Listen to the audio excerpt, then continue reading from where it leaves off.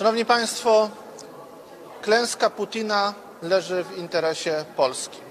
Klęska Putina i to, żeby Ukraina się obroniła, to jest polski żywotny interes narodowy.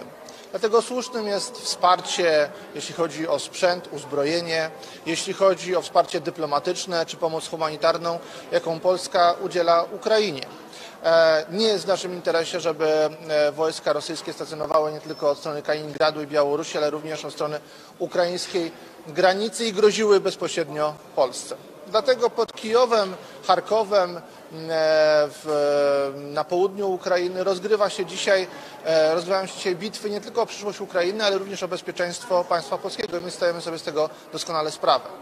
Ale istnieje granica tego zaangażowania. Granica tego zaangażowania przebiega w tym miejscu, w którym istnieje zagrożenie wciągnięcia Polski bezpośrednio do tej wojny. I tutaj mówimy zdecydowane stop. Tutaj mówimy zdecydowane nie takiej polityce, która e, by w tym kierunku, żeby Polskę zaangażować w tę wojnę, zmierzała. Niestety to, co opowiada w ostatnich dniach czy tygodniach Jarosław Kaczyński, a czemu przyklaskuje wielu przedstawicieli również em, tak totalnej opozycji, no to jest nieodpowiedzialność. E, oczywiście w warunkach wojennych nie ma czegoś takiego jak misja pokojowa. Misja pokojowa następuje wtedy, kiedy jest pokój. Wtedy nas wchodzą wojska rozjemcze, wtedy, kiedy e, mamy do czynienia z sytuacją, w której, w której ustają walki.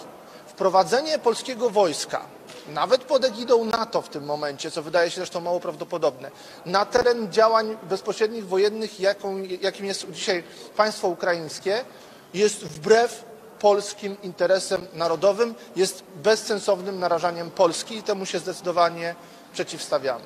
Chcemy również zaznaczyć, że e, no, jesteśmy zdziwieni, że ci, którzy tyle lat opowiadali, że każdy ruch, jeśli chodzi o obronność, należy konsultować z NATO i bezpośrednio oglądać się na to, co właśnie mm, państwa dominujące w NATO e, powiedzą, e, dzisiaj ci sami ludzie e, starają się wychodzić przed tą natowską orkiestrę, przed ten szereg.